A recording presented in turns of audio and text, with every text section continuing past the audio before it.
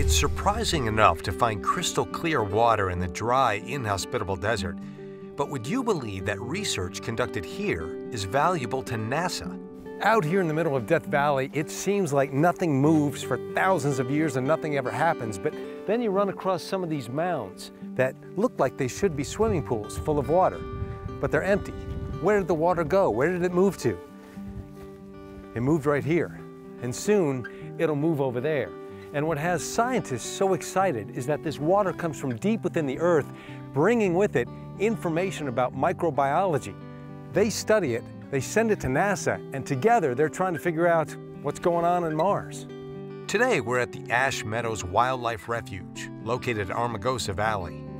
Great to see you, John. Thanks. I, I got to be honest with you, when I knew that we were going to be talking about testing water, I had no idea we were in this environment. That's ironic. This is just the way it is here. You know, we have these very, very large springs. This is the largest oasis in the Mojave Desert, right on the edge of Death Valley.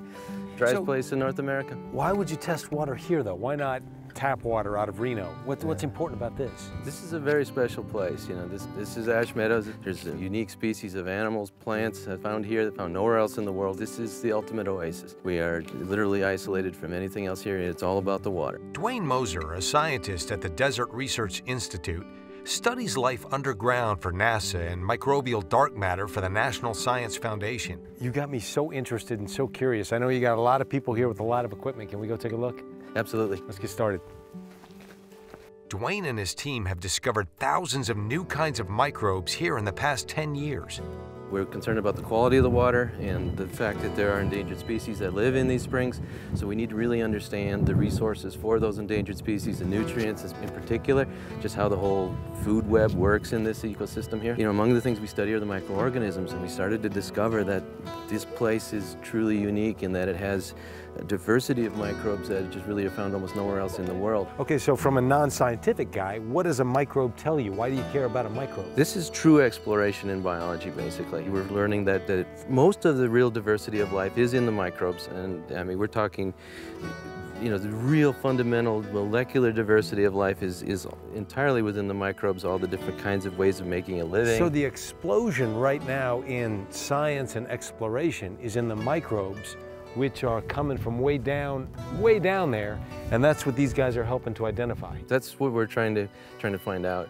The research indicates that microbes found in ash meadows could be the key to finding life on other planets. So is it, is it fair to say with the, the research that you're doing is providing more information about microbes and that helps the study on other planets. What we've been doing actually, like I said, we're again using Ash Meadows here as a sort of a, an opportunity to study life deep underground.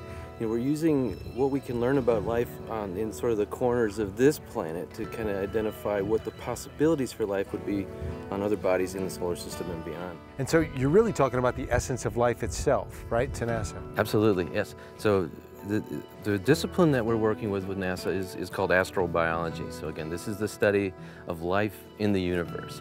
That is the past, the present, the future of life. Flowing water was recently discovered on Mars, making this research more relevant than ever. You know, it's interesting. It always comes back to water, doesn't it? it life in the does. universe always comes back to water. That's absolutely true. If you find liquid water, you have hope for life. Though invisible to the eye, microbes comprise a huge, unseen world in a mere teaspoon of water.